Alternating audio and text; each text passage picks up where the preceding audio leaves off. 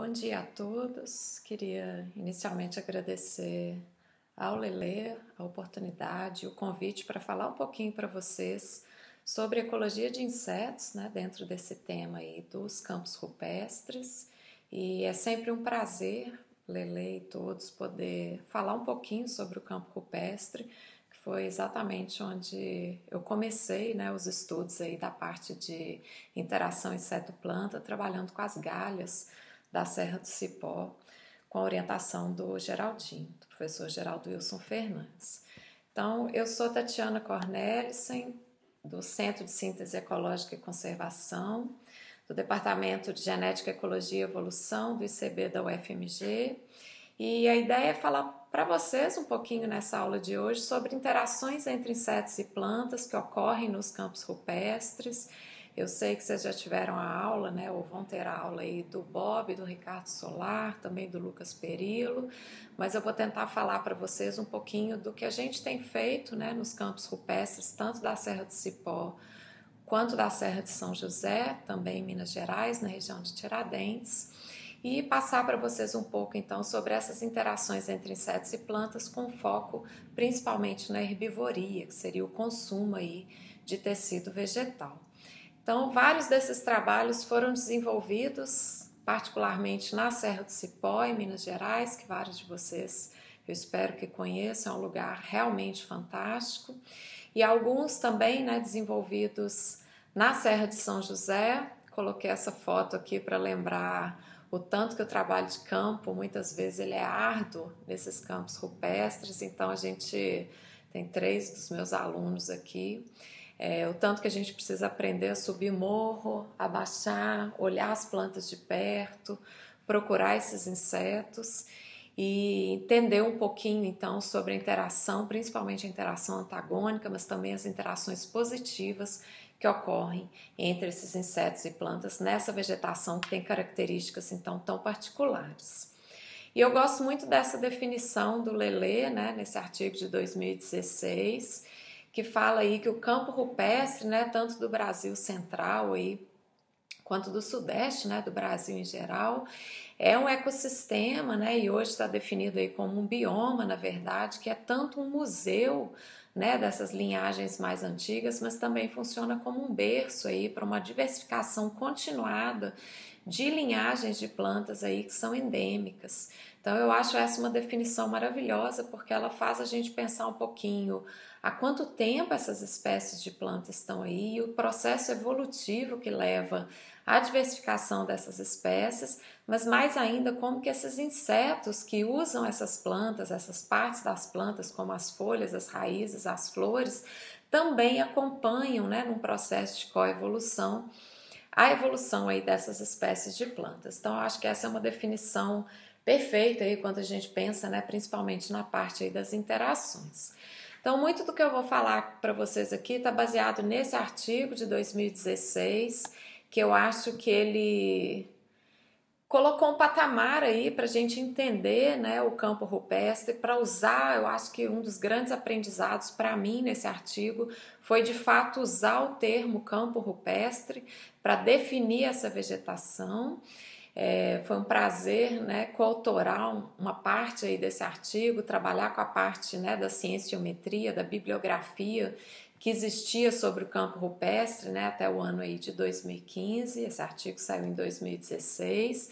Então, como vocês podem ver, né, a gente tem aqui o número de estudos em função da, do ano né, da publicação e vários trabalhos né, a partir aí do ano de 2012, vários no ano de 2014, mas um, um crescente né, no número de artigos e no interesse aqui para entender essa ideia aí dos campos rupestres. Né? Em relação à distribuição aí nas diversas categorias, né, a grande maioria desses trabalhos vai estar na categoria 1 aqui, que seria então essa parte das plantas, né, da flora, de entender a flora, mas a gente sabe, né, também em segundo lugar aqui a zoologia, né, os animais associados aí a esse campo rupestre, a gente sabe então que isso aí funciona, né, bem para a gente entender as interações entre esses animais e essas plantas, né, nesse ambiente aí tão particular.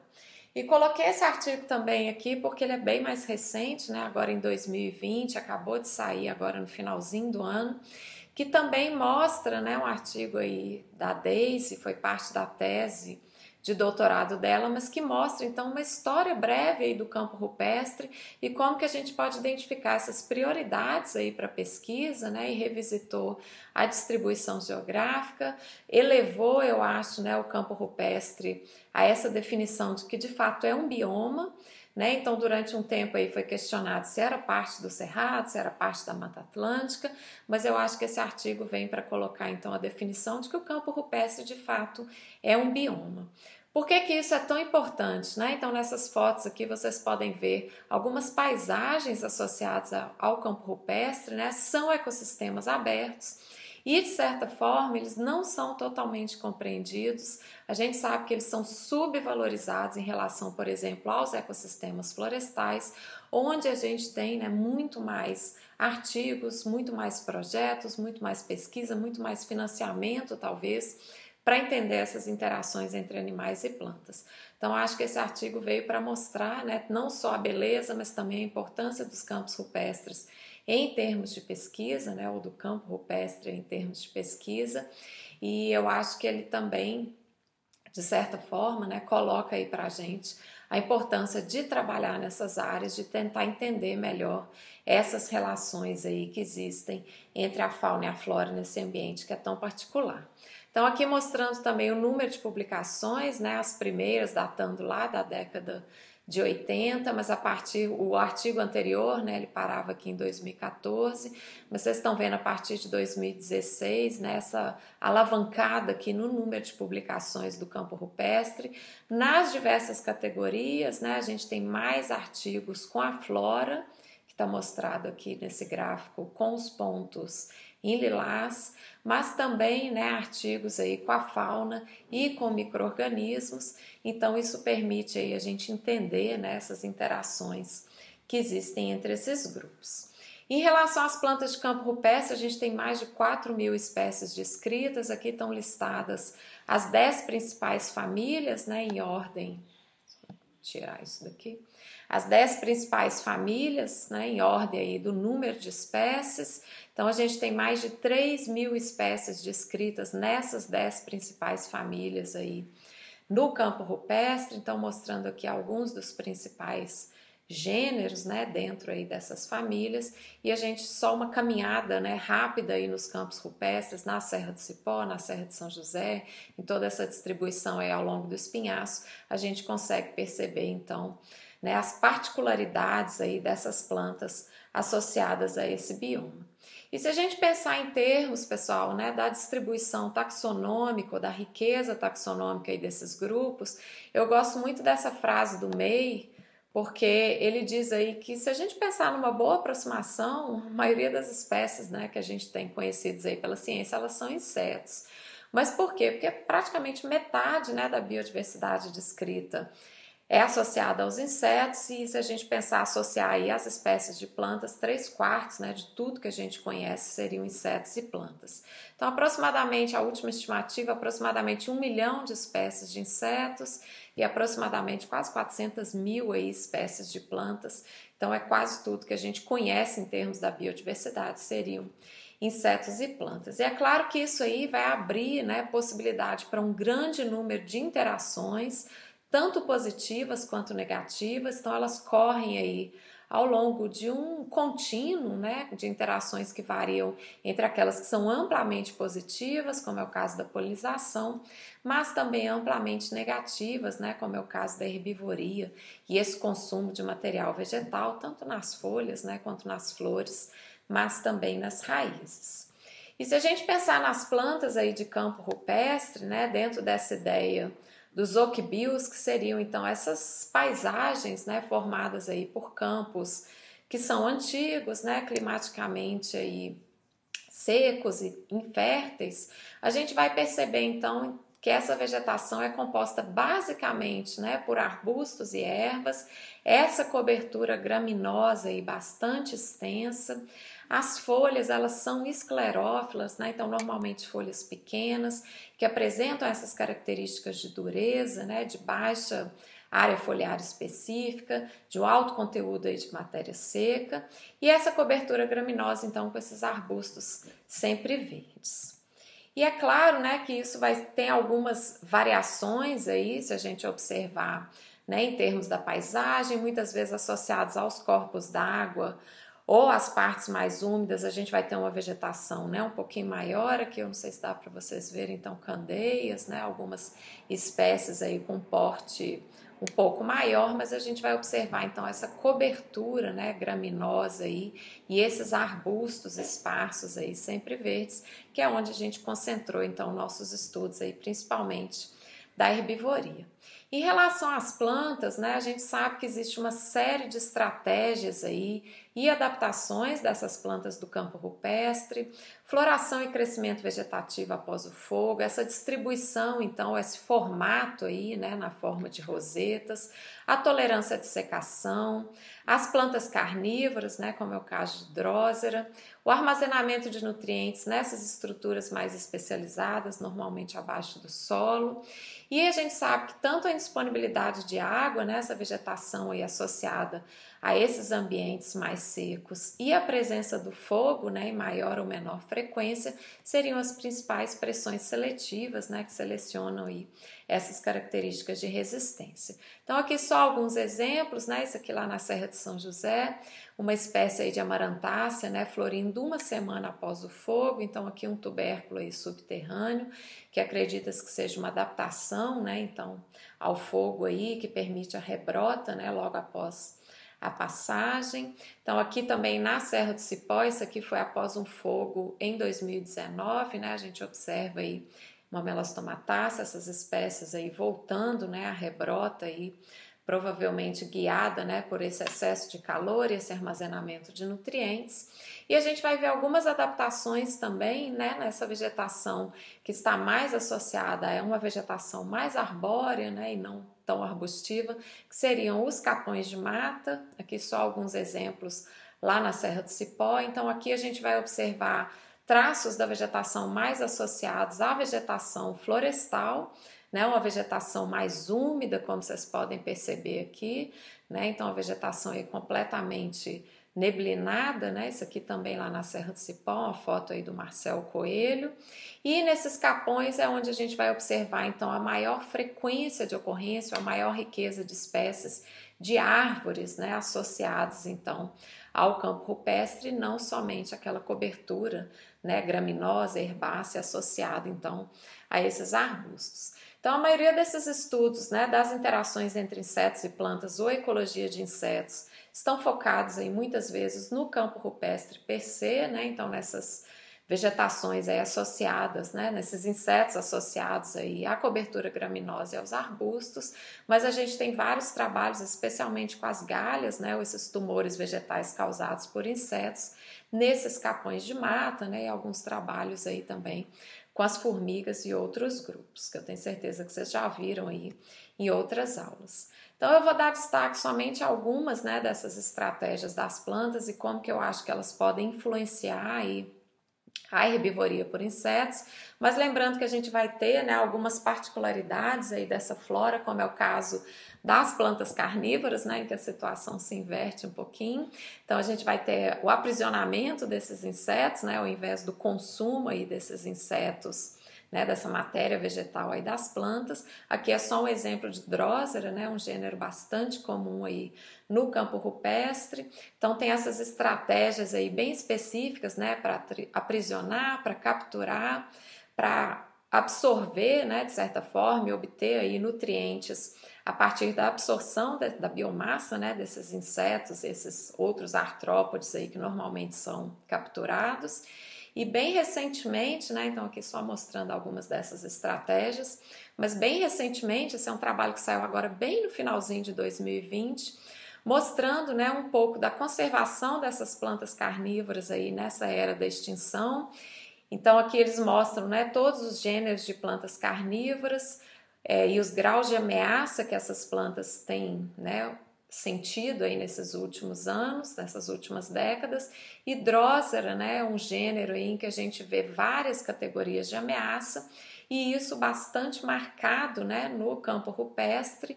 Então, aqui mostrando né, algumas dessas vegetações onde essas plantas carnívoras acontecem, eu dou destaque aqui para as letras né, C e G, onde a gente vai ver no campo rupestre algumas dessas ameaças, né, a conservação aí desses gêneros, especialmente hidrósera, em função, por exemplo, a plantação de eucalipto e mineração. Né? Então, talvez a gente perca aí algumas dessas espécies sem mesmo antes conhecer né, algumas dessas interações na carnivoria e outras interações que ocorrem aí entre esses insetos e plantas. Então, vários dos estudos que a gente teve né, aí no início da década de 80 e 90, vários deles guiados pelo professor Geraldo Wilson Fernandes e pelo seu grupo de pesquisa aí na Serra do Cipó, foram principalmente em relação às galhas, né, que seriam então esses tumores vegetais, né, esse aumento aí tanto no número de células, né, quanto no tecido dessas células que aprisionam aí de certa forma as larvas né, desses insetos, então a gente tem esse crescimento tumoral, essa modificação aí das estruturas das plantas e vários desses trabalhos foram desenvolvidos inicialmente aí no campo rupestre, né, pelo Geraldinho e pelo seu grupo aí de pesquisa que eu tive o prazer de fazer parte durante a graduação. E eu coloquei essa foto aqui, essa foto foi tirada na Serra de São José, no campo rupestre, essa é Macairé rádula, né, uma espécie bastante conhecida. Essa galha que é uma galha de Lepidoptera, né, tem alguns trabalhos sobre isso, é uma galha bem marcante, né, porque fica aquela bola rosa lá florida nas plantas. Mas eu coloquei essa foto aqui de propósito para mostrar para vocês o que me chamou a atenção né, numa caminhada aí no campo rupestre, não foi só a galha aí da macairé, mas a quantidade de tecido foliar perdido, ó, numa planta que é pilosa, né, que apresenta folhas aí, que tem, né, uma defesa mecânica, vamos dizer assim, a esses insetos, né, que seria essa presença de pelos, mas na macairé, eu não sei se dá para vocês verem aqui, ó, a gente observa diversas folhas, né, com dano aí desses insetos herbívoros mastigadores, né, principalmente algumas espécies de besouro. Então isso sempre me chamou atenção e também o fato de que esses primeiros registros de herbivoria por mastigadores no campo rupestre eram registros bastante fortuitos, vamos dizer assim, né? A gente não tinha muito bem registrado um nível então de herbivoria ou de consumo dessas espécies aí vegetais. Então eu comecei a observar né, algumas espécies de plantas, a gente via sempre lagartas no campo, isso aqui também lá na Serra de São José, várias dessas espécies, né, com formigas associadas, que muitas vezes a gente tem relatos, né, na literatura, aí, na literatura bem forte, de como que esses, essas formigas, né, muitas vezes protegem as plantas aí em relação à herbivoria. Aqui vocês estão vendo uma planta, né, de campo rupestre bastante atacada aí por espécies de lagarta, aqui estão as fezes da lagarta, mas formigas presentes e galhas, né, então a gente tem toda uma comunidade de insetos associados a essas plantas. Então, a herbivoria é definida como esse consumo de tecidos vegetais, mas vocês podem imaginar que para o campo rupestre isso é completamente diferente da herbivoria que a gente vai ver em plantas de ambientes mais florestais, né? Como é o caso, essa aqui é uma foto lá da Serra da Mantiqueira, onde a gente vai ter também uma espécie de lagarta, mas associada a folhas bem mais macias, né? Onde a gente acredita que o consumo aí dessas espécies, né? A gente tem que pensar um pouquinho na parte química também, mas em termos mecânicos, o consumo aí dessas espécies, ele é bastante facilitado, né? Em relação, por exemplo, a uma planta de campo rupestre, onde a gente vai observar uma maior esclerofilia, uma maior dureza, né? muitas vezes uma associação mais é, estreita aí com as formigas que garantem então proteção a essas plantas. E eu comecei a prestar atenção também na florivoria, né, que seria esse consumo de tecidos ou partes florais que também é bastante evidente. Aqui são duas fotos também no campo rupestre da Serra do Cipó. Eu espero que vocês consigam ver aqui. A gente tem florívoros, né, besouros associados a essas flores, mas também formigas, né, muitas vezes associadas ao néctar, muitas vezes predadoras. Aqui vocês conseguem ver ó, a remoção de tecido floral, né, nessas espécies de campo rupestre. Eu vou deixar isso para uma outra aula, porque a gente não conseguiria, né, falar de tudo aqui nessa aula mais curta, mas a gente tem observado né, que algumas particularidades das flores em relação à antes e a essa associação com as formigas pode estar guiando também esses padrões de florivoria é, no campo rupestre. E por que, que a gente deveria avaliar né, tanto a florivoria quanto a herbivoria?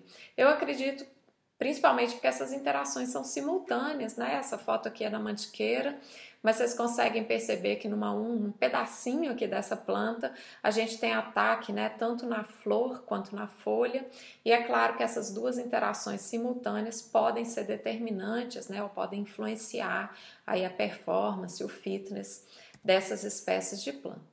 E também, pessoal, essas interações elas são mediadas por atributos dessas plantas, né? No caso das folhas aí, tamanho das folhas, maciez, né, aparência dessas folhas aí em relação às outras espécies na comunidade, né, para esses insetos herbívoros. E a gente sabe que todas essas esses atributos, né, esses traços foliares aí, como o caso do tamanho, longevidade, dureza, área foliar específica, química secundária, também vão ser completamente diferentes, né, numa planta de mata, uma planta associada a um ambiente mais florestal, e uma planta associada ao campo rupestre, né, ou a esse, esses ambientes mais abertos. E o mesmo vale para as flores, né? Então a gente tem atributos florais que vão mediar essas interações com os florívoros, como é o caso da cor, do tamanho, da longevidade, né, da qualidade do néctar, desses compostos voláteis que são emitidos. Então, essa aqui é uma flor lá na Mantiqueira, essa daqui é uma flor aqui no campo rupestre da Serra do Cipó, vocês conseguem perceber, né, a florivoria, tem um besouro aqui, né, tem outro aqui, a florivoria associada, então, a essas espécies e como que esses atributos, esses traços florais podem mediar esse nível de ataque ou a quantidade, então, de tecido que é removido, tá? Isso aqui é trembleia, né, uma melastomatácea também lá na Serra do Cipó, a mais ou menos 1.200 de altitude. Foi uma planta que a gente já avaliou e que apresenta aí uma grande quantidade de insetos minadores, de insetos mastigadores, apesar das folhas serem pilosas novamente, né? E também um alto nível de florivoria, tá? Então depois em outro momento eu conto para vocês um pouquinho a história aí dessa espécie.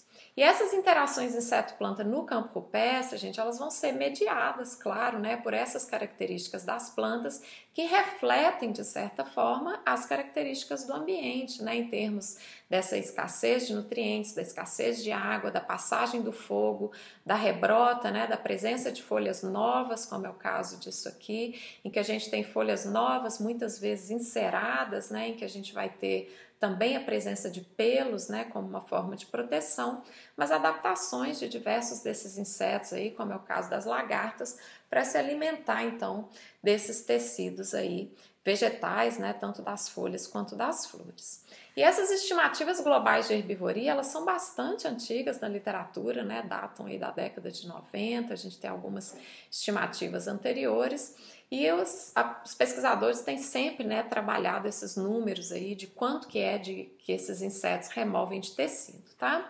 Então, no início da década de 90, né, na região tropical, números mais altos aí giravam em torno de 11, 14% aí de tecido vegetal removido por insetos.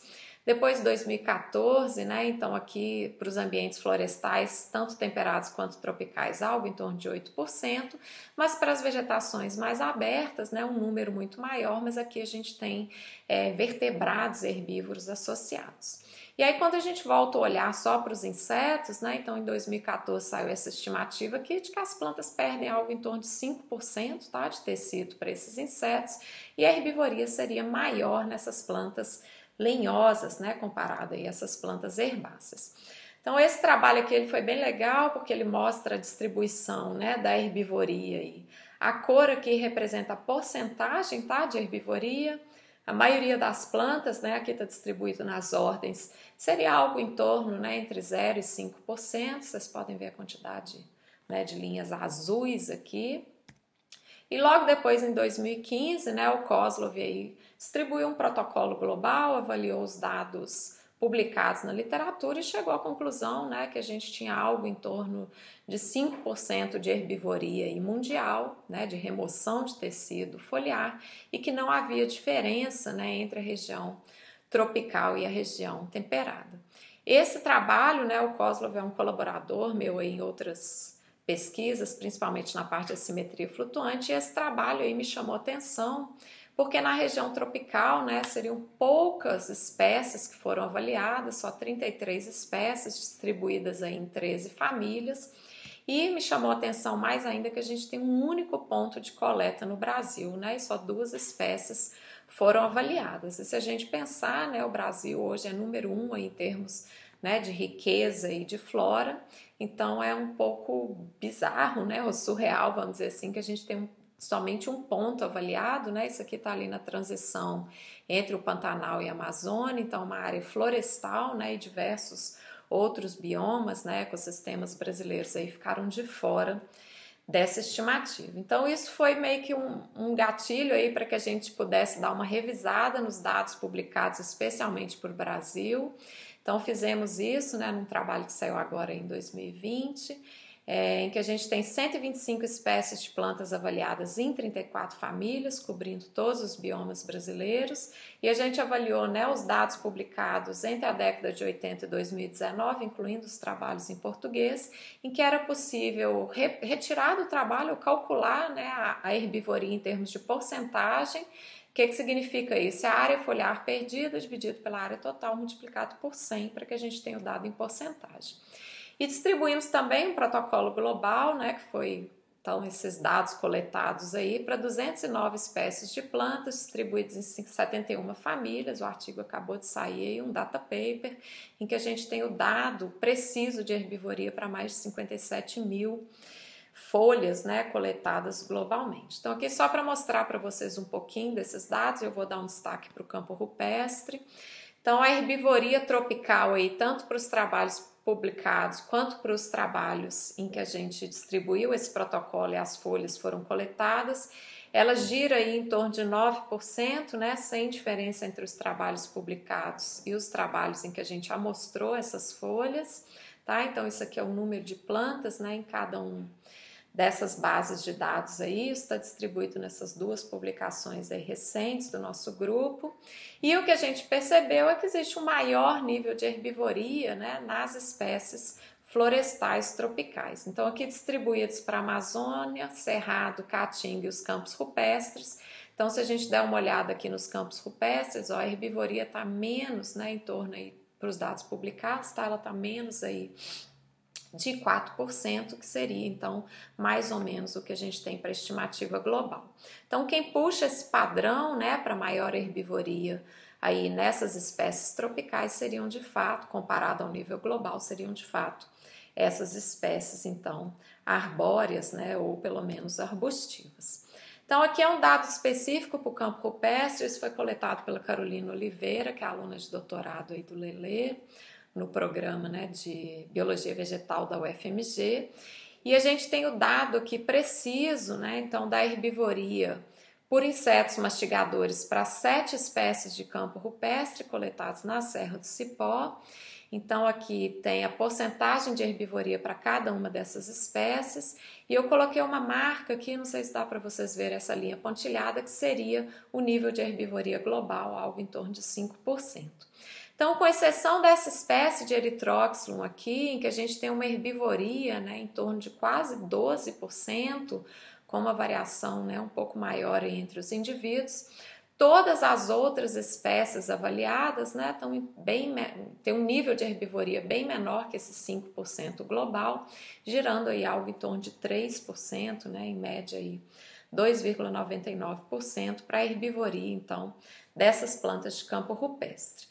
Então, aqui só para fazer uma comparação, esses são os dados que a gente ainda está trabalhando né, nessa base de dados aí tropical, em que a gente tem essas 50 e tantas mil né, folhas aí avaliadas. Para a região tropical, a gente tem algo de herbivoria algo em torno de 4,81%, né, que está muito parecido aí com esse dado global, né, coletado em 2015. Esse dado é para 42 famílias, 99 gêneros e 152 espécies de planta. Para o Brasil, né, a grande maioria dos nossos pontos tropicais são no Brasil, então 146 espécies, algo em torno de 4,55. Eu fiz um recorte aqui só para o campo rupestre, para as espécies, opa, em que a gente já tem o dado, então, precisamente medido. Para cinco famílias, né, com destaque aí para a Asterácea, uma família que a gente tem três espécies aí coletadas é, sete gêneros e sete espécies, a herbivoria no campo rupestre ela está menor aí do que 3%, tá? Então, algo em torno de 2,99%. E uma das razões que pode explicar esse baixo nível, então, seria, por exemplo, né, algumas das características, então, dessas folhas, que a gente ainda está em avaliação, mas esse aqui é um dado, né, do trabalho do Lele lá de 2016, mostrando, então, que para 48 espécies de campo rupestre, né, distribuídas aí nessa vegetação graminosa associada tanto a essa parte mais arenosa do solo, né, quanto a essa parte mais pedregosa, a gente tem área foliar específica baixa, né? Então a gente tem esse traço, esse atributo foliar aí que determina muito da herbivoria, significativamente menor do que o que está listado então nessa base de dados global. Tá, e aqui seria a matéria seca, né? Mostrando então que essas folhas tem um nível significativamente maior então de matéria seca, indicando, né, então a esclerofilia ou a dureza, né, associada aí a essas plantas, né, do campo rupestre. E isso pode ajudar a gente a entender, né, esses padrões aí menores, né, de consumo de material vegetal ou de remoção de tecidos, tá? Então a gente continua avaliando esses dados aí, mas só para fazer uma comparação e mostrar para vocês que esse, né, é um indício de que essas folhas, né, tem alguma diferença aí e que os galhadores, pelo visto, usam isso muito bem, mas que pode, né, fornecer, vamos dizer assim, uma certa limitação à herbivoria por mastigadores. E eu queria finalizar, né, um pouco aí dessa aula mostrando para vocês também tenho certeza que isso já apareceu em outras aulas durante essa disciplina, mas o efeito da altitude, né, nesses padrões de ocorrência de espécies e o funcionamento aí dos campos rupestres, porque isso é importante para a gente entender né, a herbivoria ao longo então desse gradiente altitudinal, né, que é uma característica aí do campo rupestre. Não o gradiente por si só, mas o que é que acontece com essas plantas principalmente, né, e com esses grupos de insetos à medida que a gente caminha nesse gradiente altitudinal. Então a gente sabe que tem mudanças, né, tanto em termos da radiação, da umidade, da temperatura, mas também, né, na estrutura, na composição, na cara, vamos dizer assim, dessa vegetação, à medida que a gente sobe, né, aí na altitude. Então a gente tem principalmente uma substituição, né, do cerrado ou de uma vegetação mais arbórea, arbustiva e por uma vegetação mais aberta, mais graminosa e com essas características né, associadas às folhas. E é claro né, que isso vai ter uma importância enorme, então essa mudança climática, né, que é o que está sendo mostrado aqui, essa mudança nas características climáticas e na vegetação à medida que a gente aumenta a altitude, então aqui dados para a Serra do Cipó, né, saindo aí de 800 até 1400 metros. A gente tem mudanças aí na temperatura, né, na precipitação, na quantidade de vento, na pressão atmosférica que vão influenciar, claro, né, a cara dessa vegetação e como que esses insetos então respondem.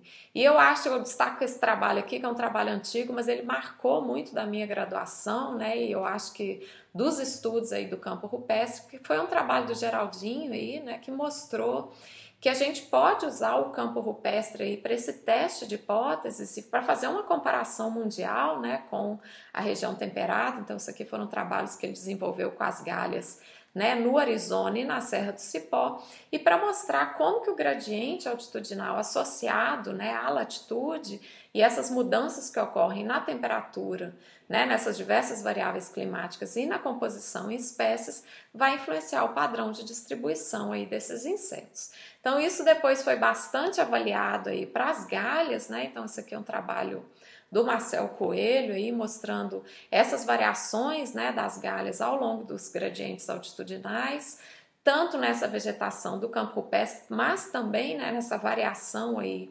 desses capões de mata que vão estar distribuídos aí ao longo desse gradiente altitudinal né, cobrindo aí os campos rupestres.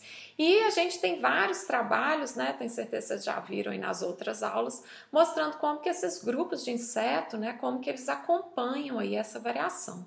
Então, os trabalhos aí, né, do grupo do Fred Neves com as formigas, com os besouros, do Perilo aí com as abelhas, com as vespas, né, Bob também aí com as formigas, Marina Beirão com as borboletas, né, os vários trabalhos de Geraldinho aí com as galhas, principalmente de díptera.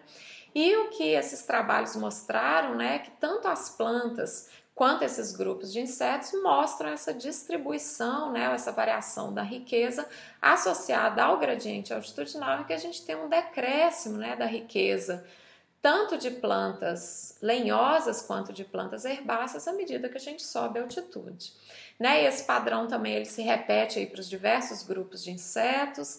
Então aqui a gente tem né, os cupins, as formigas, os besouros, as borboletas tanto nectarívoras quanto frugívoras, os insetos mastigadores, os insetos minadores, né, que eu tive o prazer, prazer de participar aí dessa parte, né, desse trabalho, também os insetos galhadores, todos acompanham, né, esse padrão aí de distribuição ou de redução da riqueza com o aumento da altitude. Então isso aqui é só uma figura, né, do capítulo do livro lá de 2016 que resume, né, para esses diversos grupos com exceção das micorrizas, né, que estão representadas aqui, que apresenta esse padrão mais quadrático, todos os outros grupos, né, em maior ou menor inclinação aí, apresenta essa redução da riqueza com aumento da altitude. Então agora daqui para frente, né, com um PELD, um projeto de longa duração aí na Serra do Cipó, começando agora em 2020, a ideia é continuar esses estudos e também tentar entender, né, principalmente para os herbívoros mastigadores de vida livre, o que é que, é que acontece né, para os engenheiros de ecossistema, o que é que, é que acontece quando a gente tem essa variação aí na altitude. Então, também cenas dos próximos capítulos. E um pouquinho do que eu fiz né, na Serra do Cipó com alguns alunos aí de mestrado na UFMG foi tentar entender, e também na UFSJ, né, foi tentar entender um pouquinho dessas variações que ocorrem né, normalmente aí na simetria de caracteres bilaterais, tanto das plantas quanto dos insetos, com foco aí nas borboletas, e como que isso né, pode ser usado aí, principalmente como indicativo de estresse ambiental. Então, essas variações morfométricas, né, tanto nas folhas quanto nas asas desses insetos, eles podem ser um indicativo né, de uma presença, vamos dizer assim, quando a simetria está presente. É normalmente um indicativo de estresse ambiental e a gente usa né, isso aí como uma ferramenta para tentar entender essas interações. Então, a simetria né, ela é definida de forma bastante simples como um desvio da simetria perfeita, né? Então, a gente espera que o lado direito e esquerdo de um organismo que tem a simetria bilateral sejam exatamente iguais, e quando isso não acontece, né, quando o organismo não tem condição, vamos dizer assim, de corrigir esses errinhos né, de desenvolvimento, a gente observa então né, a presença aí dessa ausência de simetria ou assimetria, tá? Isso vem, sido, vem sendo extensivamente estudado, né, tanto para animais como para plantas, em resposta a esse estresse ambiental, estresse genético ou ambos. Já foi bastante descrito né, para insetos, estou usando como exemplo aqui a borboleta. Então, esses desvios que a gente observa, por exemplo, né, no comprimento ou na largura entre as asas direita e esquerda, é, na distância entre as nervuras, né, no tamanho dos ocelos entre a asa direita e esquerda, podem indicar então né, esse estresse aí durante o desenvolvimento. O mesmo vale para as plantas, tá? Então, isso aqui é um trabalho do Jean com Bauínia, né, que já foi objeto de estudo é, na minha graduação, já foi objeto de estudo do Lelê também, né? Então, isso aqui numa vegetação mais florestal, mas só para mostrar para vocês, né, que a gente consegue trabalhar com simetria de plantas aí usando a nervura central como referência por exemplo, desvios né, na largura direita e largura esquerda de uma determinada folha e como que insetos galhadores né, ou diversos outros grupos aí respondem a essa simetria. Tem vários tipos de assimetria, tá, gente? Meu foco ele tem sido basicamente nesse primeiro gráfico aqui, que é a assimetria flutuante, o que, que significa isso? São pequenos desvios né, do padrão simétrico, que está representado aqui pelo zero, onde a gente fala que é flutuante porque tem desvios tanto para o lado esquerdo quanto para o lado direito aí, né, ou dessas asas, ou dessas folhas aí das plantas, tá? Uma das vantagens de trabalhar com a simetria flutuante é que a gente calcula índices bastante simples aí. A gente pode medir diversos caracteres morfológicos ao mesmo tempo. Então, aqui numa folha vocês conseguem ver a olho nu que a largura direita e a largura esquerda são diferentes. Então, a gente aplica isso em índices que corrigem pelo tamanho da folha e a gente consegue saber a simetria né, de uma determinada população ou de uma determinada comunidade. Isso aí já foi bastante estudado, tá, gente? Tanto para planta, animal, no ambiente tropical, no ambiente temperado, normalmente em gradientes ambientais, né? De mudanças climáticas, poluição, presença de urbanização, abertura de estradas, fragmentação, mas o que eu vou mostrar para vocês aqui seriam ao longo desses gradientes ambientais naturais, tá? Usando principalmente altitude aí no campo rupestre. Então esse foi um trabalho que eu fiz com Lele, né? Foi a dissertação de mestrado de uma aluna da Cristina Telhado na UFMG, que o Leleco orientou. Foi minha primeira aluna de mestrado, então gosto muito desse trabalho. E a gente começou a avaliar um monte de coisa para sete espécies né, simpátricas de melastomatácea lá na Serra do Cipó, então um trabalho muito legal da Cris e que a ideia era trabalhar com as folhas, com as flores, com insetos minadores que estavam lá na trembleia. Aqui não sei se dá para vocês verem, insetos mastigadores, né? Então a gente tinha lagartas, besouros aí que ingeriam as flores. E aí a gente finalizou esse trabalho aí, né, a dissertação da Cris, com essa publicação aqui mostrando níveis naturais de assimetria flutuante tanto nas flores quanto nas folhas, né, de quatro dessas espécies simpáticas aí das melastomatáceas que ocorriam entre 1100 e 1200 de altitude lá na Serra do Cipó. Então, só mostrar rapidinho aqui para vocês. Tinha muita variação, tá, gente? Então, a gente tem aqui as espécies né, de plantas que a Cris trabalhou, tibuquina, né, lavoisiera, tibuquina aqui também, e trembleia, desculpa, mas mostrando né, a simetria tanto na largura das folhas quanto na largura das pétalas. Então a Cris teve um trabalho muito cuidadoso de avaliar a simetria né, nesses dois caracteres aí, tanto nas pétalas quanto nas folhas, né? E tem muita variação entre as espécies. Se vocês pegarem ó, uma única espécie, né, como é o caso de Tibuquina heteromala aqui, ó, a gente tem muita variação, muito nível, né, um nível elevado de assimetria nas folhas, mas um nível menor nas flores, comparado, por exemplo, à lavoisiera, e muita variação tá, nessas espécies. A gente tentou trabalhar e associar isso com a herbivoria, com a florivoria, mas particularmente foi né, esse ano que a Cris trabalhou, entre 2012 e 2014, foram anos em que a gente observou né, níveis verdadeiros de assimetria flutuante, mas aconteceu um monte de coisa na Serra em termos de variação, passagem de fogo em algumas dessas populações, variação no nível de precipitação, o inseto minador que a gente estava acompanhando, ele simplesmente desapareceu e o nível de herbivoria nessas plantas foi baixíssimo naquele ano, né? Então, pouquíssimas folhas atacadas, né? A densidade de insetos diminuiu demais e a gente acabou não conseguindo, né, entender esses padrões de assimetria e de herbivoria. Então, esses são projetos para o futuro aí, né? Essas plantas estão marcadas. A ideia é tentar entender a partir de agora aí como que a assimetria influencia esses níveis de herbivoria. E depois, né, ainda nessa ideia de assimetria, a Natália Henriques, que foi minha aluna de mestrado na UFSJ e hoje é aluna de doutorado na UFMG, ela tentou avaliar, tentou não, né? Ela conseguiu avaliar os níveis de assimetria nas asas de borboleta, mas trabalhando agora com a comunidade de borboletas, avaliou em mais de 300 indivíduos, né, distribuídos em mais de 100 espécies, para tentar entender se a altitude funcionava como uma fonte de estresse aí para essas borboletas, tá? Então a Natália, ao longo de um gradiente de altitude na Serra de São José, que varia também de 800 a 1400, ela mediu diversos caracteres, né, nessas asas aí das borboletas. Então aqui, ó, mostrando o comprimento das asas, aqui a largura. E esses pontinhos aqui indicam a área total dessas asas.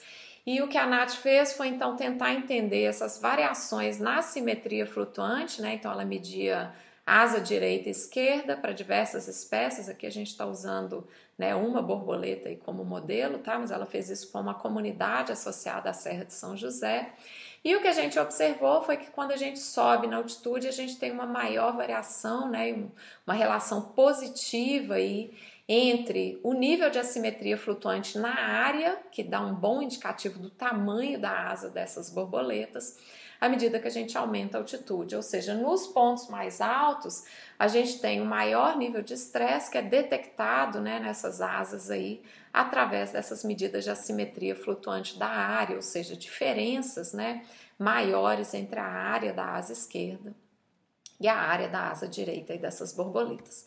E o que a Natália está fazendo agora, né, num dos capítulos da tese de doutorado aí dela, é tentar entender esses traços funcionais em borboletas de campo rupestre e como que essas variações morfométricas, né, essas variações no tamanho, essas variações na simetria, podem ser associadas então né, à altitude aí e como que isso está associado ao voo dessas borboletas, tá? Então ela está avaliando aí diversos caracteres, né, diversos traços funcionais, incluindo coloração dessas borboletas, mas esse é um trabalho que ela está finalizando aí para submissão, então também cenas dos próximos capítulos. E só para finalizar, gente, então, né, falando um pouquinho para vocês aí da herbivoria, né, da florivoria, desses insetos, a ecologia de insetos, traços funcionais desses insetos no campo rupestre.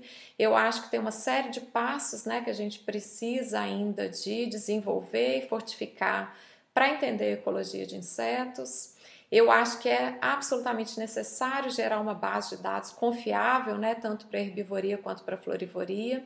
A gente tem avançado bastante nisso. A Carolina, aluna do Lelê, já coletou mais de 40 espécies né, no campo rupestre, em que os níveis de herbivoria estão sendo precisamente calculados.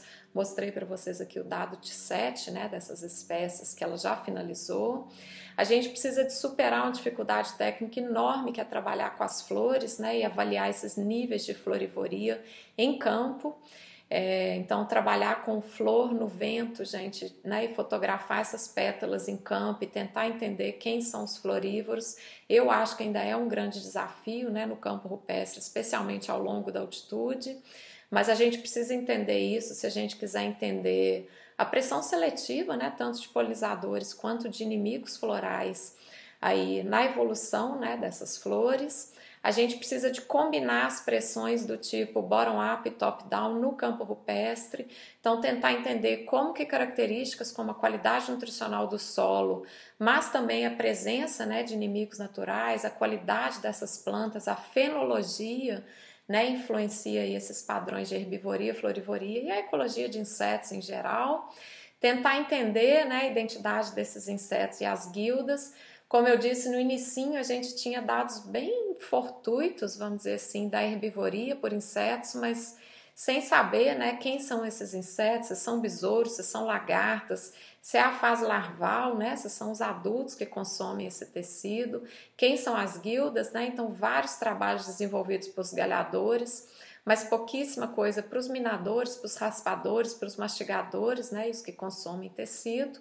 E finalmente eu acho que a gente deve avaliar né, tanto esses atributos foliares e florais das plantas de campo rupestre para entender os mecanismos que estão por trás né, dessa variação na quantidade de herbivoria, de tecido foliar e floral que é então removido. Eu acho que isso é um grande desafio, mas é um desafio que vários de nós, né, amantes aí das montanhas e do campo rupestre, nós estamos, eu acho que prontos, né, para entender para avaliar tentar dar a nossa contribuição, de certa forma, aí, para entender esses padrões. Então, eu queria finalizar né, agradecendo aí ao Lele, principalmente, para o convite, né, para falar um pouquinho para vocês aí desses trabalhos que a gente tem desenvolvido no campo rupestre.